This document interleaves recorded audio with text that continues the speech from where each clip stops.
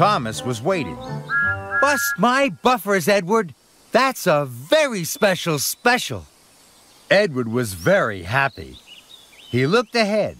If he took the express line, he couldn't stop for the people to admire his magnificent water wheel.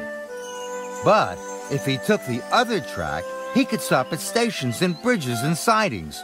A lot of people would see his special special, the signal change. Edward didn't take the express line. Edward was having a wonderful time. He went past stations,